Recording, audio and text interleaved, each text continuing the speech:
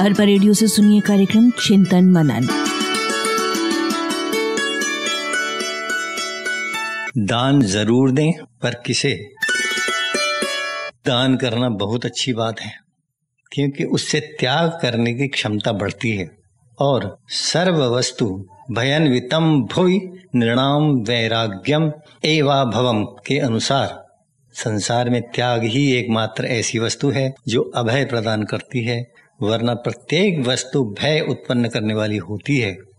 गांधी जी के राजनीतिक गुरु गोपाल कृष्ण गोखले ने भारतीय परंपरा के अनुसार सार्वजनिक जीवन में त्याग करने पर विशेष बल दिया था।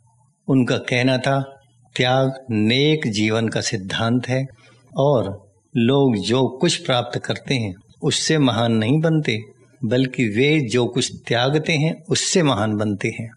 उपर्युक्त के आधार पर त्याग और दान, उपयोगिता और महत्ता की दृष्टि से जुड़वा भाई हैं। लेकिन त्याग विवेकपूर्ण होना चाहिए और दान सुपात्र को ही दिया जाना चाहिए। आगे की पंक्तियों में किसी भारी दान की बात न करके केवल भिक्षा या भीख जैसे रोज़मर्रा के दान की बात की गई है। भिक्षा या भीख मांगने वाले हट्टे कट्टे भिक्षार्थी कभी सुपात्र नहीं हो सकते, क्योंकि वे हाथ फैलाने के अलावा कुछ नहीं करते। यदि आप अंध धार्मिक या अति भावुक बनकर उनके भोजन पानी आदि की व्यवस्था में सहयोग देते हैं तो आप उन्हें और भी नाकारा बनाते हैं। वे अपना पेट पालने के लिए अंधविश्वासी भक्तों और विवेकहीन दानियों को बेवकूफ़ बनाने का धंधा करते हैं। कई बार तो वे भिकमंगे लोग ठग ही नहीं, चोर उचक्के भी होते हैं। वे आपसे कुछ मांगने तक तो आपके हितैषी बनकर कहते हैं कि वे आपके नाम का दिया जलाएँगे, आपके लिए दुआ मांगेंगे। पर यदि आपने उन्हें कुछ नहीं दिया, तब वे तत्काल आपका बुरा सोचते हुए, आपके विरुद्ध बड़बड़ाते हुए निकल जाते हैं। उनका यह कहना कि उनकी दुआओं से आप संपन्न हो जाएँगे। निहायत मूर्खता की बात होती है, क्योंकि यदि उनकी दुआओं में थोड़ा भी दम होता तो वे अपने लिए भी दुआ मांगकर स्वयं संपन्न हुए बिना नहीं रह सकते थे।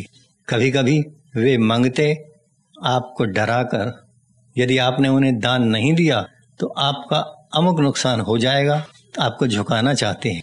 पर यह उनका सिर्फ़ चालूपन होता है। ऐसे दान भुखड़ों से सावधान रहिए। यदि आपको दान देना ही है तो होनहार, गरीब बच्चों को छात्रवृत्ति दीजिए। अनाथों की ज़िंदगी बनाइए। अपाहिजों की मदद कीजिए, बेसहारा बीमारों का इलाज करवाइए, अभागी और संकटग्रस्त विधवाओं का विवाह करवाइए। यदि आपका पेट अच्छी तरह से भर रहा है तो ओवर ईटिंग की बिल्कुल ज़रूरत नहीं है। अपनी समृद्धि में से थोड़ा अभाव वालों के लिए भी कुछ करके देखिए, आपकी आत्मा खिल उठेगी। अपनी संपत्ति का सही उपयोग कीजिए। आप अपने साथ उसमें से कुछ भी लेकर जाने वाले नहीं हैं। ये थी डॉक्टर रमेश चंद्र मेहरोत्रा की प्रस्तुति। उनकी पुस्तक सफलता के रहस्य से, अरपा रेडियो के लिए।